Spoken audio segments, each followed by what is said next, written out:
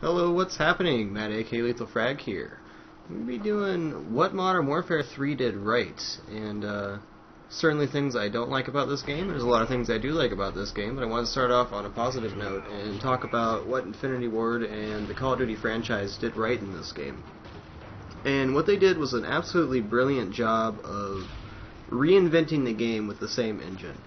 And I was a little bit concerned coming into this game that they were using the same engine they'd been using since Call of Duty 4. I mean, it's an old engine, it's almost five years old now. So, you know, I was a little bit skeptical as to, you know, if they could pull that off. And, you know, what they did is added a completely new kill streak system, um, really make the maps small, and, you know, make the game work with the engine without making it feel exactly the same. And as I said in previous commentaries, the feel of the game, the way the game runs, feels exactly like Modern Warfare 2. It feels like the Infinity Ward engine, the one they've been using. But they brought new concepts to the game that really took that to the next level. It made it not feel cumbersome or. It, it doesn't feel like the same game. It feels like a brand new game. It feels like a new gaming experience just with the sheer amount of customization that's going on. And one thing I really enjoy that they brought is being able to level up your guns. I thought that was definitely a step in the right direction rather than having to you know, just unlock all this stuff. Or I wasn't really a big fan of Call of Duty points in Black Ops. While it seemed like a cool idea to start, it was really kind of a pain to have to sit there and collect all that cash to buy stuff.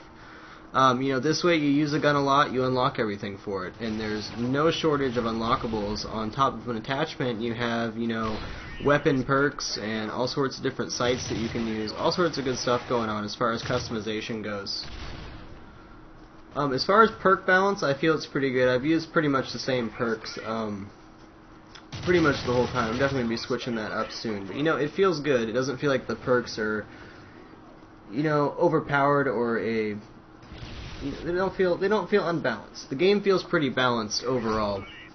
I mean, we have some gun balance issues. That's always going to be a case in a Call of Duty game, or any first-person shooter. Really, there's always that one gun that everybody goes to. It seems to be the UMP 45 right now is the the standard with rapid fire.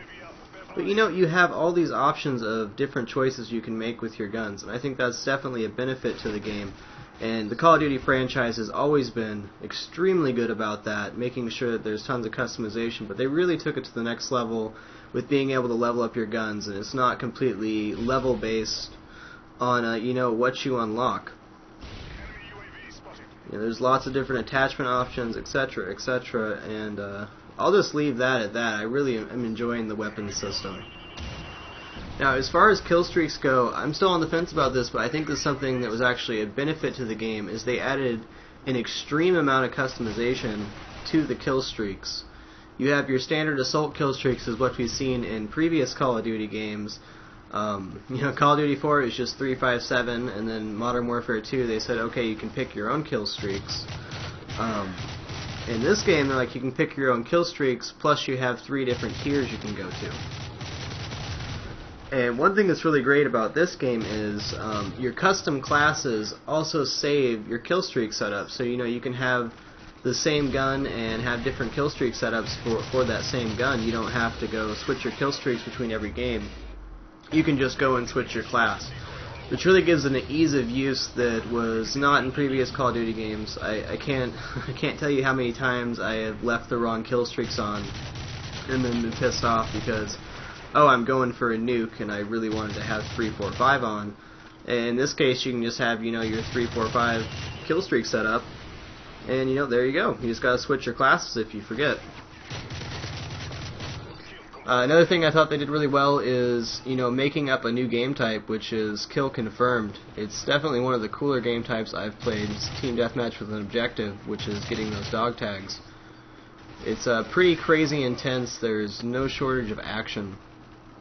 Which leads me right into my next point, which is they made a very fast-paced game. There is nothing slow about this game whatsoever. I mean, it's really a polar opposite of Battlefield. And I'll get into my opinions Battlefield 3 versus Modern Warfare 3 later. But, you know, it they really revolutionized a fast-paced game. There's nothing slow about this. Modern Warfare 2 had a lot of really large maps, and at times it felt very slow, and it felt very beneficial to sit back and camp, and, you know, take those really long shots and just kind of hold down one spot. Whereas in this game, it's really a benefit to move around and rush a little bit, or even try to flank. It's uh, it's not all about you know sitting back and racking up kills. It's just it's action. It's pure it's pure action which I think uh, for you know for the franchise and for adding new players in, that's a really good thing. Even if you're not having the best kill death game, you know you feel like you're contributing. You feel like you know you're having a good time. Of course, it's not all fun and games. You know, when you do poorly, you don't enjoy yourself that much. But you know, it's really fun. It's definitely a fun game, and it kept me interested for for the whole night you know, um, I tweeted out that I felt a little bit disappointed in the game. I think I was just a little bit tired and kind of burned out, really.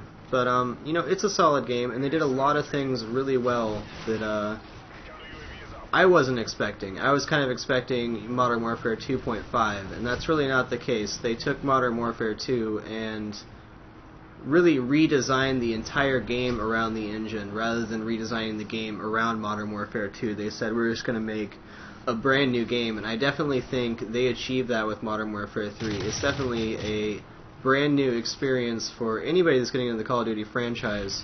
Um, even though it handles the same, it's a completely different game, and I think that's what they were shooting for, and I think they, I think they achieved that.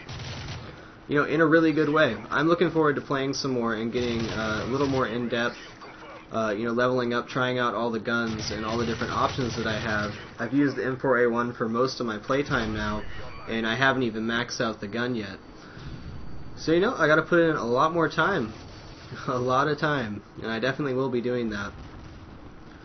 So, overall, I think it's a great experience. Definitely things I don't like about the game, which I'll get into in another commentary. But I just wanted to get this out of the way and, you know, focus on some of the positive things that Modern Warfare 3 is bringing to the table and there's certainly no shortage of that. You know, it's it's really a defining experience for the gaming community, and that's about all I got. Frag out.